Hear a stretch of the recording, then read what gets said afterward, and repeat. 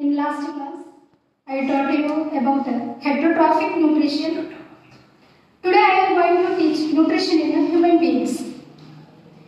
Human digestive system is very complex in nature.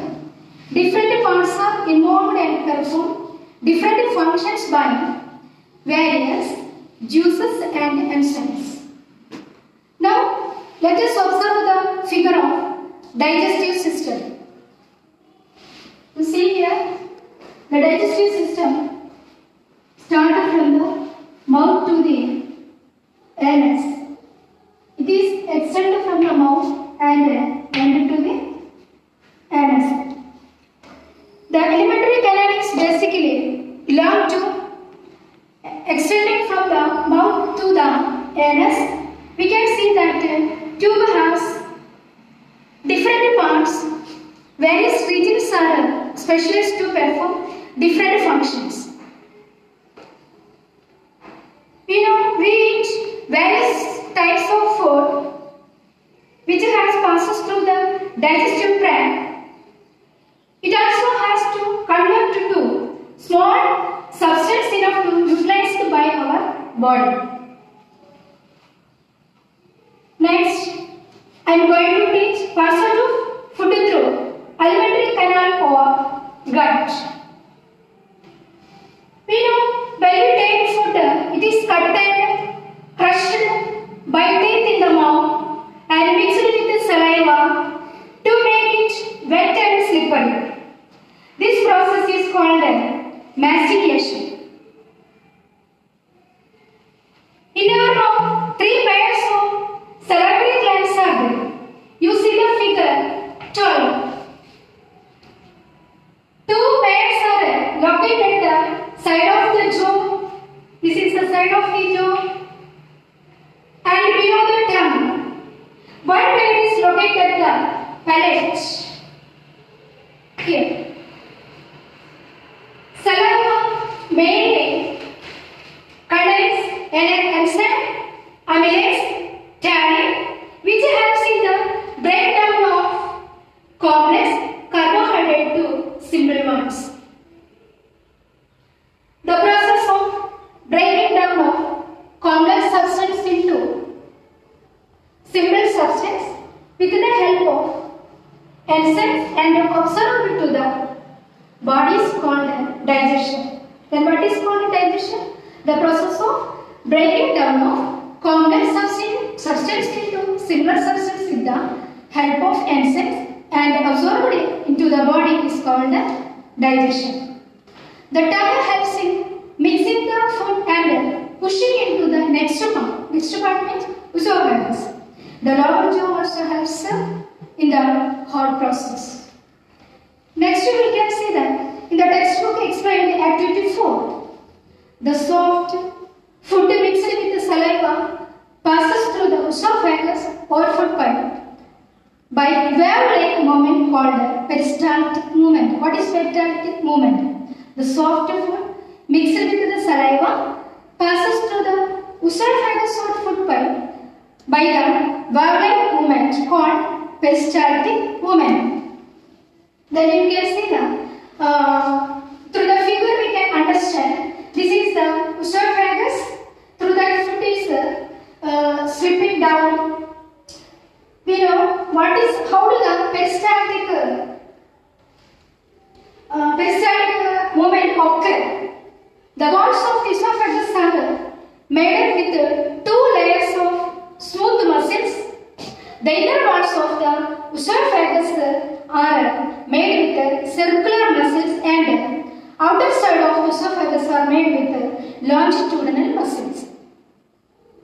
Contraction of circular muscles make the esophagus narrow just behind the bolus, so the food is squeezed downward, squeezed downwards. Contraction of the longitudinal muscles in front of the bolus widen the tube. this, this results shortening of the so the contraction and relaxation make the peristaltic movement. After the food will reach the stomach, at the stomach food gets churned with the gastric juice and HCl, hydrochloric acid. Now food is a semi-solid condition. The digestion of food goes on as most proteins break down small molecules with the help of enzyme pepsin action on them. Now food is soft, slimy substance with some proteins and carbohydrates here already brought down is called a chyme. Then what is a chyme? Now food is a soft, slimy substance with some proteins and carbohydrates. Here already broken down is called a chyme. Now the food material passes from the stomach to the small intestine. Here, ringy-like muscles called pyloric sphincter relax to open passage into small intestine. The sphincters are responsible for regulating the opening of the passage such that only small quantities of food material may be passed into small intestine. The small intestine is the longest part of the alimentary canal. Then question is there, which is the longest part of the alimentary canal? What is the answer? The small intestine is the longest part of the alimentary canal. It is the site for further digestion of carbohydrates, protein and. Fats are digested by converting them into smaller globules like forms by the action of bile juice secreted by the liver. This process is called emulsification. Then what is called emulsification? Fats are digested by converting them into small globule-like forms by the action of bile juice secreted by the liver. This process is called emulsification. Next, pancreatic juice secreted from the pancreas contain enzymes like trypsin for carrying one process of digestion of proteins and lipase for fats.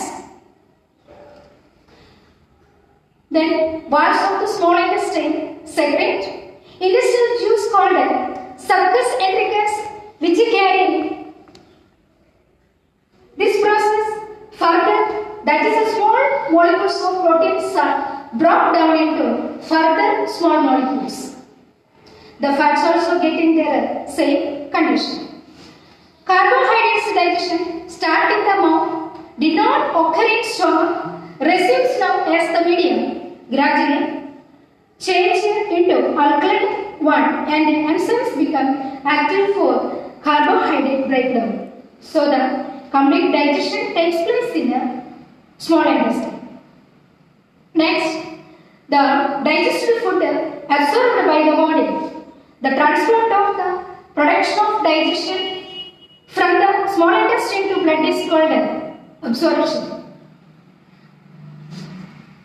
Of undigested material from the body by the way of anus is called defecation. Then what is called a defecation? Passage of undigested material from the body by the way of anus is called a defecation. Next, I am going to teach about some health aspects of the alimentary canal. We know sometimes when we take food, sometimes we feel to vomit. Vomit is the body's method of ridding of the unwanted or harmful substance from the stomach. The peristaltic movement of the stomach and esophagus reverse their normal direction and the food is expelled out. Causes for vomiting. What are the causes for vomiting? Overeating, especially when the food contains high proportion of fat. Vomiting also occurs when we eat something very indigestible or poisonous.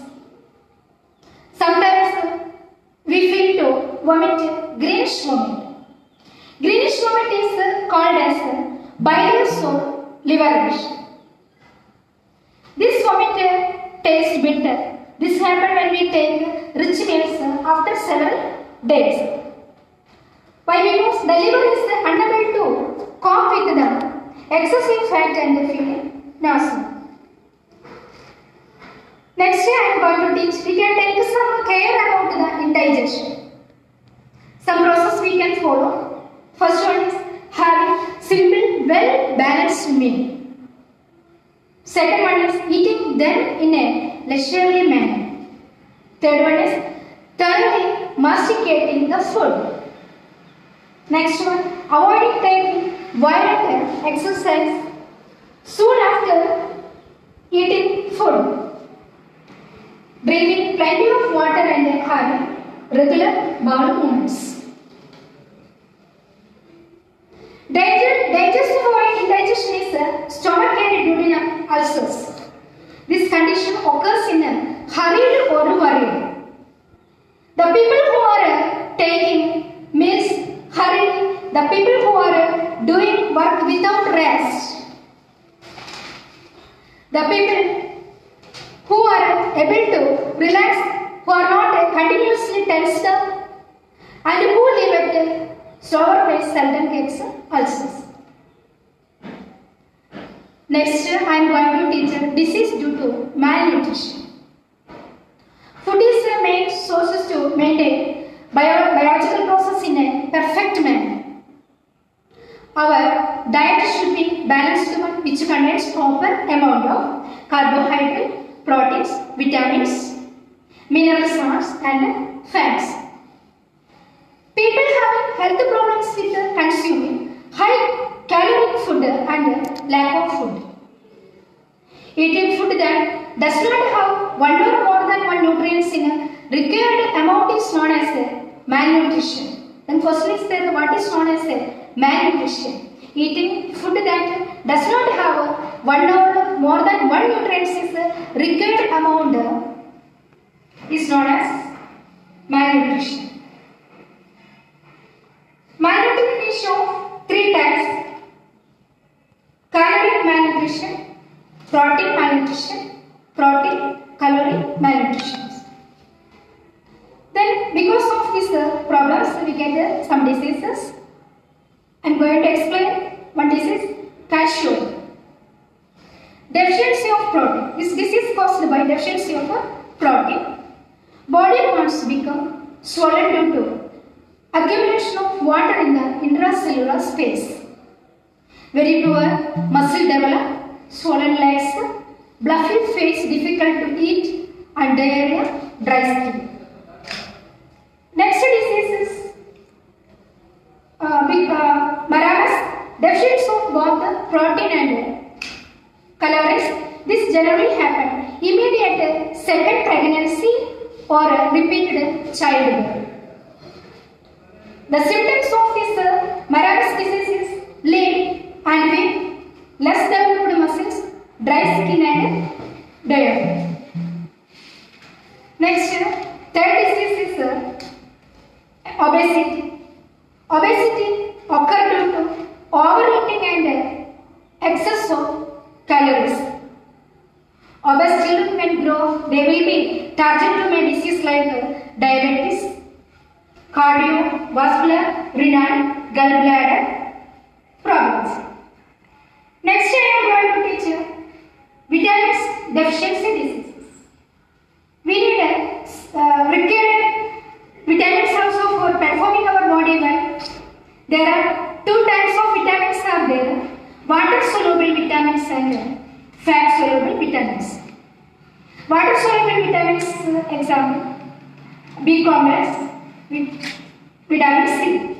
Fat soluble vitamins example vitamin A, D, E and K. Then lack of vitamins we get some type of diseases. I tell about the pellagra disease. This is one type of skin disease. Lack of niacin B3. The symptoms of this disease: scaly skin, loss of memory, and diarrhea and dermatitis. Second disease is scurvy.